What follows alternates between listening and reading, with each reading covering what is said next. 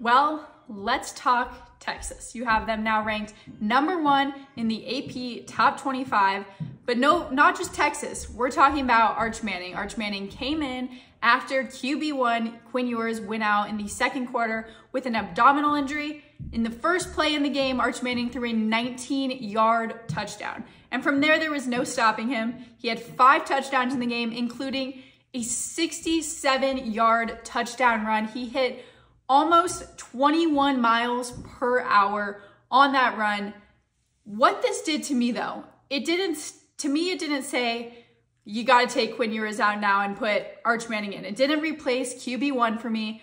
All it did was solidify that Texas is going to be good, going to be good for a while. They have a solid offensive line, a solid defensive line, core group of wide receivers, as Joel Klatt put it if you're the head coach, if you're a Texas fan, you are excited because what this showed is if when QB1 goes down, there's no worry, right? Arch Manning is going to step in. He's a very talented player.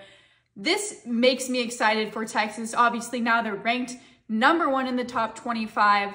But this conversation, and this is what I want to ask you about, is should Quinn Ewers be out of the Heisman conversation? Arch Manning, his, you know, the points to bet him to be a Heisman winner have significantly improved. One game, you're not taking Quinn Ewers out of the Heisman conversation, right? To me, Quinn Ewers is going to still be at that Heisman ceremony in New York. I have him still in that top five of who to watch for Heisman. Arch Manning is an amazing player, but that one game doesn't show me he needs to be in the Heisman conversation, right? So let me know what you guys think, your thoughts below, your thoughts just on Texas. They're now number one. And then what you think is going to happen with Quinn Ewers and Arch Manning. Until next time, see you next time on Payton's Playbook.